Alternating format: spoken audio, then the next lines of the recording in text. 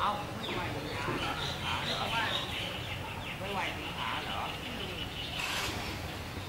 ทำอะไรเขาไหวไหว คือเคยเป็นนักดนตรีเก่ามา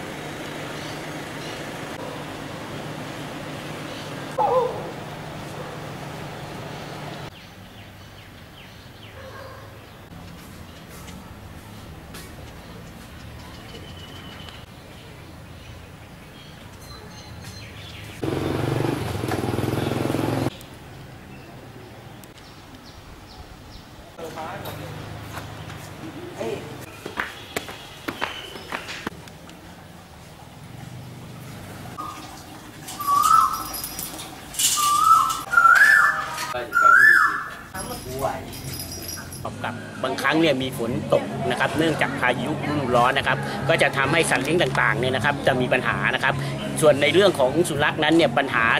ที่เป็นหลักหนึ่งก็คือโรคพิษสุนัขบ้า ซึ่งขณะนี้มีระบาดในหลายพื้นที่นะครับ ฉะนั้นเนี่ยอยากจะขอให้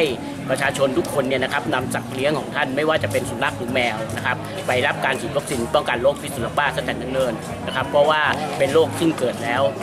ไม่มีทางรักษานะฮะสำหรับสัตว์เลี้ยงทั่วไปเนี่ยนะครับถึงแม้จะเป็นหน้าแล้งก็ตามอากาศเปลี่ยนแปลงอย่างนี้นะครับ ผลของสัตว์ในการปรับตัวไม่ทันนะครับในเรื่องของสัตว์ปีกอาจจะทำให้เกิดโรคแทรกซ้อนนะครับ โดยเฉพาะเนี่ยเรื่องของไข้หวัดนะครับแล้วก็ไข้หวัดนกจริงๆ แล้วในบ้านเราอาจจะไม่มีแต่ในประเทศข้างเคียงนะครับ อย่างฮ่องกงอะไรตอนนี้ก็ได้ข่าวว่ามีการระบาดเพราะฉะนั้นเนี่ยถ้าสัตว์ปีกเนี่ยป่วยตายผิดปกตินะครับ ขอให้ท่านรีบแจ้งที่สำนักงานปศุสัตว์เปิดได้ทุกที่นะครับ เพื่อเป็นการเฝ้าระวังนะครับ ในอากาศร้อนอย่างเงี้ยนะครับ สัตว์อาจจะเกิดความเครียด ไม่ว่าจะเป็น